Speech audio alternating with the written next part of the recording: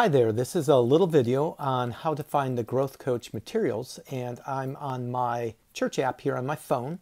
This is going to look a little bit different on an Android phone. This is an iPhone, but you want to go to More. On the iPhone, it's at the bottom right. I think on the Android phone, it might be the top right. It's those three little bars there.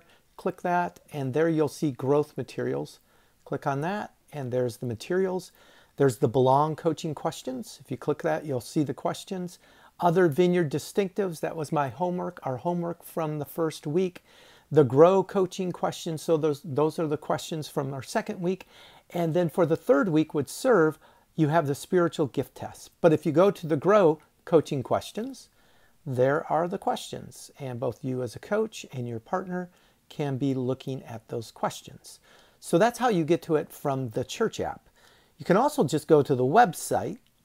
Uh, and the website is uh, much more robust, has more things on it than just the church app, which is just a quick portal to some things on the website.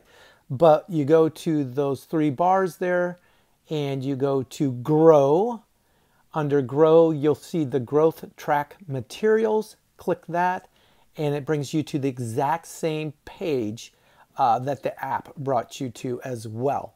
So going back to the beginning, here's the first page of the website over there and the growth track materials. So hopefully that will help you. Uh, coaches get familiar with that and also show your partners how to use that. Thank you.